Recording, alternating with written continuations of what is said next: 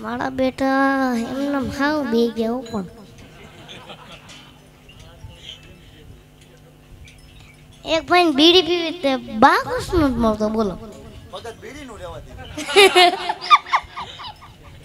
પછી એક બાકસનું જ મળતું ને તે ગોતા ગોતા એક ભાઈ ભાઈ એને કીધું કે બાકસનું હું એને કીધું ઓલા ઓલા દાદા બેઠા ને ઓલા ચોરે દાદા. એની જીભે અડાય. એને કીધું, એને જીભે હું, એની બીડી હું વળગે? એની જીભે તો ગામના ગામ અળગે તારી બીડી હું વળગે? તો પછી એકવાર એક પત્નીએ એના પતિને કીધું એ હું સોમવાર રહું છું, મંગળવાર રહું છું, બુધવાર રહું છું. પતિએ એમ કીધું, તારે કાંઈ નથી રહેવું, તું ખાલી હોખણી રે. તારે કાંઈ નથી રહું તું ખાલી હોખણી રે. અને મારા બેટા હમણાં હમણાં એક એડ બેટા ના ના અ, આપણે કોઈ પ્રકારની જાહેરાત નહીં કરવાની હો. એક કલાકાર એમ કે આપણે કોઈ પ્રકારની જાહેરાત નહીં કરવાની. કેમ? એક ભાઈ એ ભાઈએ જાહેરાત કરી એક ભાઈ. કે તમારે કોઈએ તમાકુ ખાવું નહીં. તો બધાએ કીધું અમે હું તારા પપ્પાને ખાવી છીએ? તારા પપ્પાનું તમાકુ ખાવી છીએ અમે? હે? એ, ઓ, ઓલા ભાઈએ સીધી એડ આપી પેપરમાં આ ખાવ ખાવ. આ કોથળા ભરી ભરીને ખાઈ જાવ તમ તાર. અને હથેળીમાં વાળ નહીં ગધેડીને ગાળો નહીં કુંવર અને હાળો નહીં હંસ કાંઈ કાળો નહીં મીંદડીને માળો નહીં ઉંદરને ઉચાળો નહીં કડી ઉપર તાળું નહીં લાડુ ઉપર વાળું નહીં કેળાને પાન નહીં ઘર જમાઈને માન નહીં ડુંગરા નરમ નહીં ગુલ્ફી ગરમ નહીં બાપીને ધરમ નહીં દિગંબરને શરમ નહીં અને ફળો ફળમાં હાંધો નહીં અને તાળી પાડો તો વાંધો નહીં. બસ હવે થોડાક હસાઈ દીધા. એમ નો હાલે તમે કેદી હાથમાં આવો? એમ નો હાલે ભગત તમે હવે પછી ક્યારે હાથમાં આવો? એટલે આમ આ તો હજી પહેલી વાર છે ને હજી તમે કીધું એમ હજી તો આવવાનું બાકી જ છે. આ તો હજી શરૂઆત હતી ને.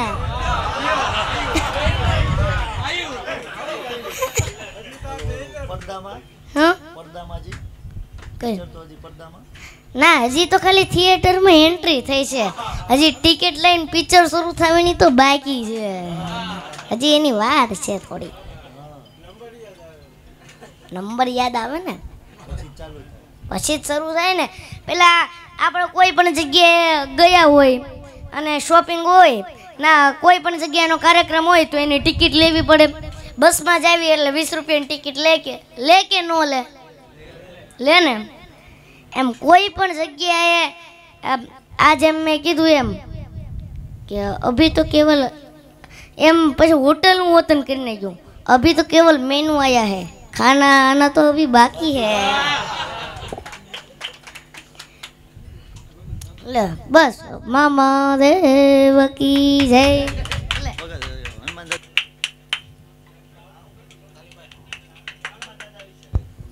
આજ તમે સોટલી ખડી કરી દેવાના છે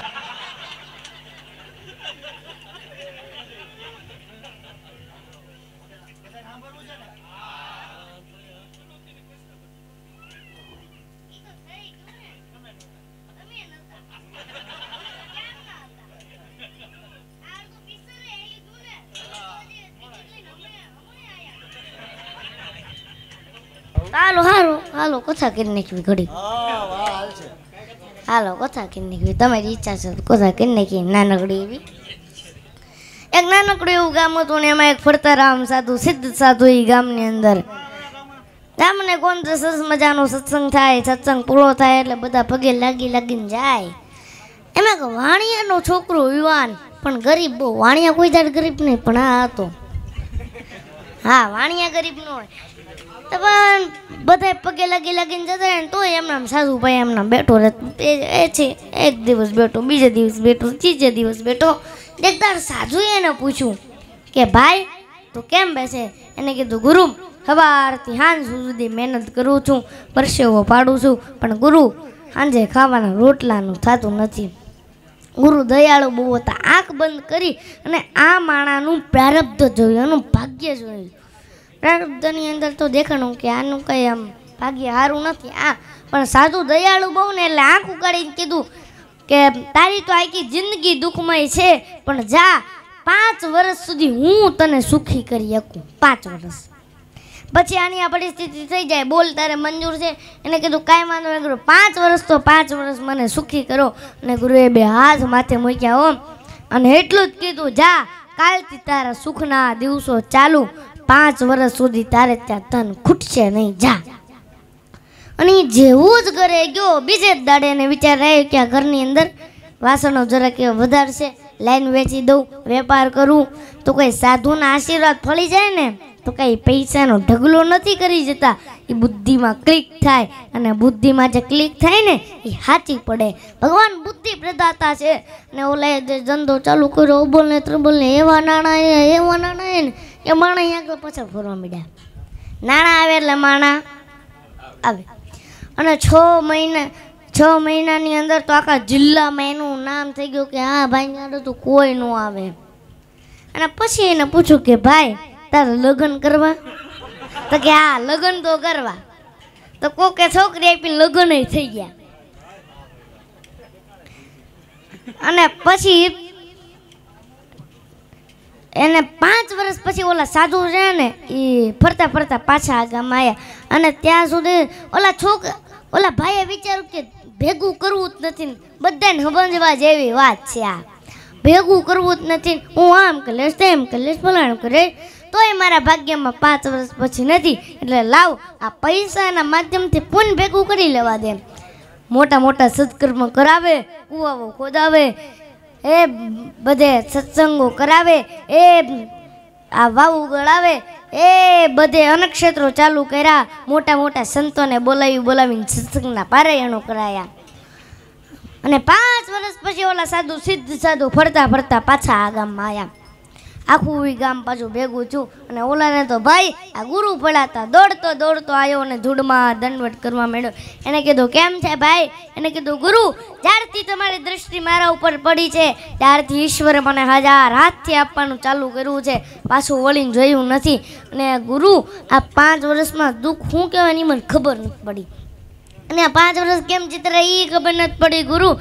એને કીધું, તૈયાર થઈ જાજે. બે દિવસ પછી તારા પાંચ વર્ષ પૂરા થવાના છે અને જે પરિસ્થિતિ હતી એ જ ચાલુ થાય. એને કીધું, કાંઈ વાંધો નહીં ગુરુ. આ પાંચ વર્ષમાં મારે જે કરવાનું હતું ને એ મેં કરી લીધું. કોઈને બહુ ભેગું કર્યું છે.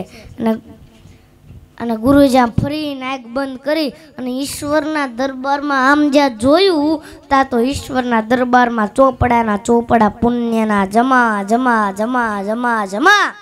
ભગવાને એનું જે ભાગ્ય લખ્યું હતું ને, એની જગ્યાએ ફેરવી નાખ્યું કે આ જીવન સંપત્તિવાન રહેશે એના હાથો કી લકીરો પર ભરોસા મત કરના યારો.